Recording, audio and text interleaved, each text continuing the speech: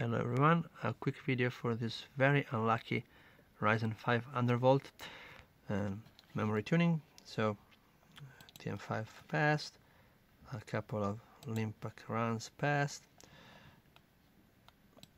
some AIDA 64 numbers and the voltages here.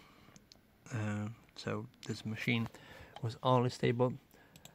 I mean, not really only stable, but get the best performance with 3000 on the memory and 2000 on the Infinity Fabric clock. And the curve offset was only 11, so that actually contradicts some of the claiming claims that usually people. I mean, the smartest people, uh, well, whatever.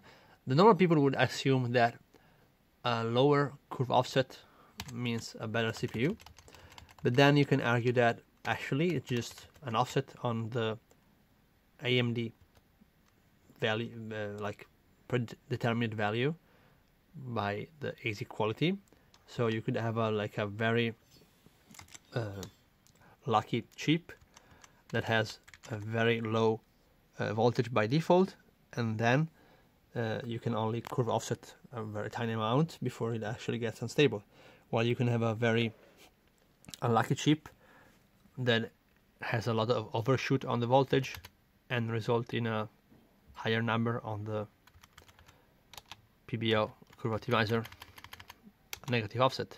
But this machine is only stable at 12 and that is with uh, a lot of uh, like a very cold environment and a lot of fans all around and also um, I forgot to say that I decided to set a very low power thermal throttling limit to make sure that the system doesn't get unstable later.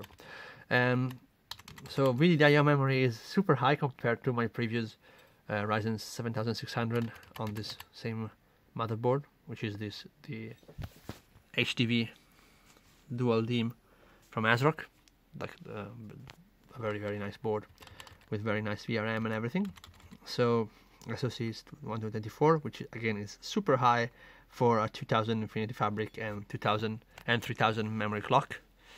And so yeah, all points to a very very awful sample. Those two are quite low compared to the previous machine that I did, but I didn't really uh, bottom them out before. I think. Um, I guess they worked.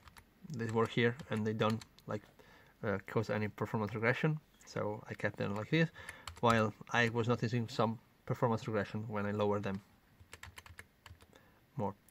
Um, yeah, memory settings are very very standard. This is a CL38, 38, 38 kit, but it actually runs slightly tiny better on Linpack on 3939.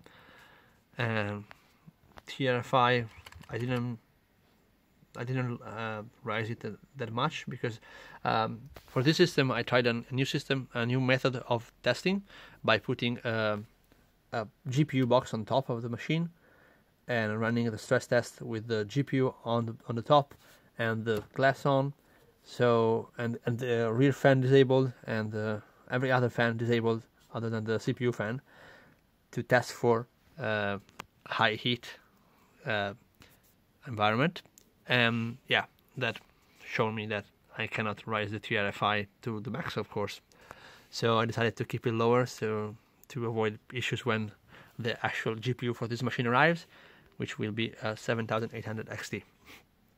And um, yeah, so that's really all for this very unlucky CPU and memory combo. Oh, the memory is uh, Micron, I think. Let's see if I can find anything about this.